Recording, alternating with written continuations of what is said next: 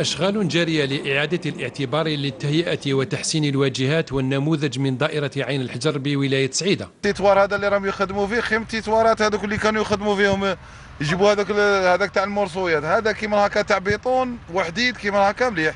خدمة زينة كيما هكا. والله راهم يخدموا دوك راني نشوف البلاد راه كاع نخدم درك هنا في في سعيدة هنا في عين الحجر كاع نخدم. ما عندنا في واحد ثمان شهور ولا تسعة تبدل طريق كيما نقولوا مليحة ماشي كيما سنين فاتت.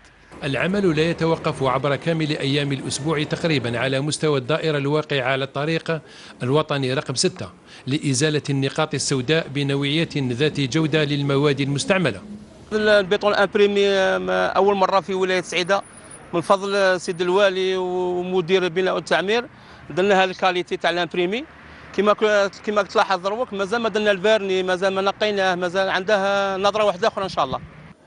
ويعد المشروع من الاهتمامات ذات الارتكاز التنموي والحضري لإضفاء لمسة جمالية.